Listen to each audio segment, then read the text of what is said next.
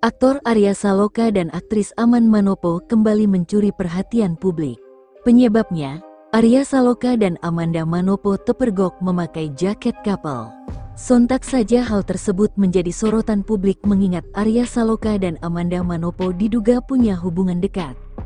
Tepatnya sejak keduanya diisukan terlibat cinta lokasi kala membintangi sinetron Ikatan Cinta RCTI. Kini, Mantan suami Putri N kedapatan mengenakan jaket jeans berwarna hitam di sebuah acara.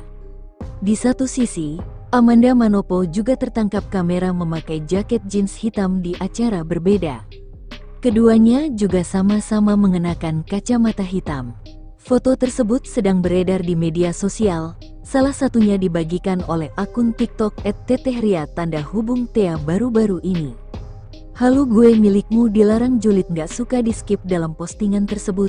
Tampak kolase foto Arya dan Amanda saat memakai jaket senada. Foto tersebut pun menuai beragam tanggapan dari para penggemar. Utamanya fans yang masih menjodoh-jodohkan keduanya sejak dulu.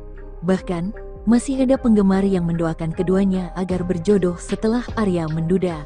At 7973 Doaku buat kalian berdua moga jodoh kalian berdua direstui oleh Allah dan ortua kalian amin.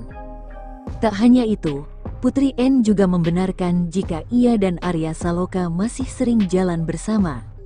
Penyebabnya, Arya Saloka yang mengendarai mobil tersebut sementara Putri N duduk di samping. Baginya, hal itu bukanlah hal yang salah karena saat ini mereka berteman baik. Kendati sudah bukan pasangan suami istri lagi, namun N tetap menjaga baik-baik hubungannya dengan Arya. Bahkan, N mempersilahkan Arya jika ingin membawa kekasih barunya menggunakan mobil tersebut. Sayangnya, hingga saat ini N tidak pernah menanyakan sosok pacar baru Arya itu.